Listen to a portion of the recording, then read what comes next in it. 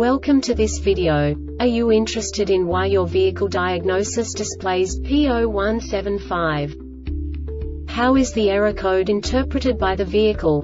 What does P0175 mean, or how to correct this fault? Today we will find answers to these questions together. Let's do this. First, let's look at the history of diagnostic fault code composition according to the OBD2 protocol, which is unified for all automakers since 2000. We divide the electric system of automobile into the four basic units. Powertrain, body, chassis, network. This distribution is defined in the first character code. If the second character is expressed as zero, it is a standardized error.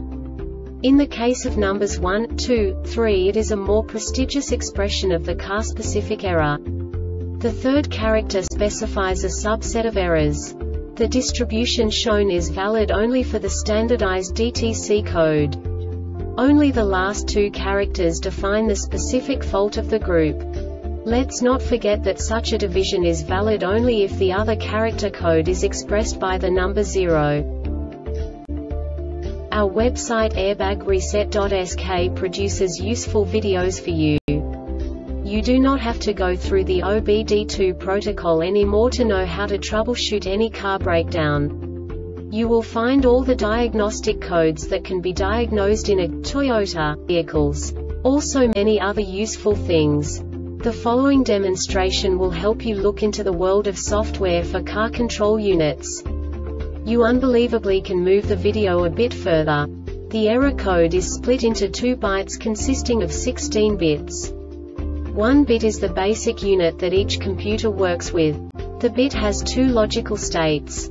0, low level, 1, high level. By combining the first two bits, the basic character of the error code is expressed. The next two bits again determine the second character. The last beat styles of the first byte define the third character of the code. The second byte is composed of a combination of 8 bits.